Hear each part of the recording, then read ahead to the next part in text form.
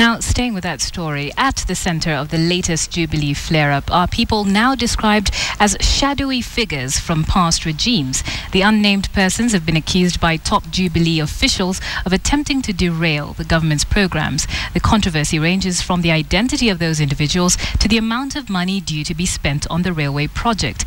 But just why is this public project surrounded with so much mystery? Well, KTN's Dennis Onsarigo went looking for some answers. Billion standard gauge railway project became a subject of heated debate when the top leadership of the Jubilee government accused a little known, ever smiling and soft spoken Nandi Hills member of parliament Alfred Keter of being a gun for hire. Ya mtu mmoja ati oh, kwa sababu mimi fulani alafu wapige nyinyi tafuta wengine bwana ya kutisha. Hapana, sisi tumekuwa siasa miaka mingi na tunajua vile mambo yanapelekwa.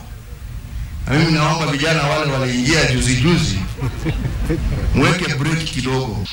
The country's chief executives failed to name individuals they accused of trying to derail the election promise to Kenyans. More than a month later, there's still talk of shadowy powerful figures in government. The country for a long time has been hijacked by a few corrupt individuals who run cartels. Wale hawa huyo huyo mtu hawa hawa wawili hapo hapo hawa watu yako wenye wanajaribu kujificha kwa marinda ya serikali hapo tu wanalala hapo kwa marinda ndio waletange kichwa lazima muwatimue kabla ya wiki moja Uhuru's government must give a statement regarding the architects of Angolism who are now using the same trick. And then came these. Wakasema Jumatatu kesho watayama wiki hii wataenda kotini na hiyo pesa watawapatia judges. We are telling the Kenyan judges this is a reform judiciary. You cannot you cannot be used.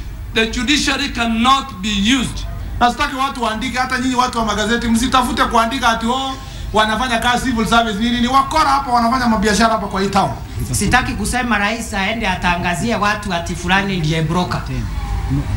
That is demeaning the institution of the presidency. Sisemi deputy president afanye hivyo, lakini muko na spokesman wa mambo ya serikali. Coincidentally, the Ethics and Anti-Corruption Commission has in the past investigated powerful individuals linked to the Goldenberg and the Anglo leasing scandals. The individuals are known to the government.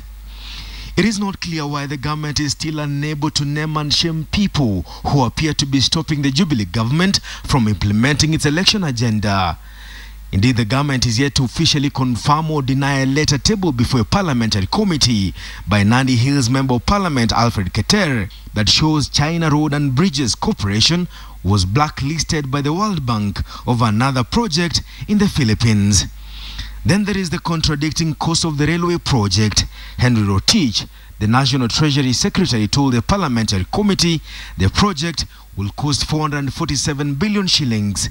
A day later, Michael Kamau, the transport CS, told the team 327 billion shillings as the amount the project will cost, a difference of a billion shillings. What is the real cost of the railway project? The Attorney General Githu Muigai has raised questions about the railway tender process. We are the office that will finally sign off. Correct.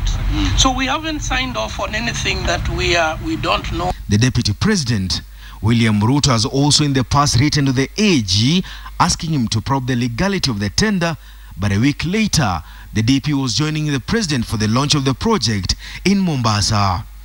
Who are the powerful men and women that the President and his deputy can only mention but cannot dare call by name? Denson Sarigo, KTN Prime.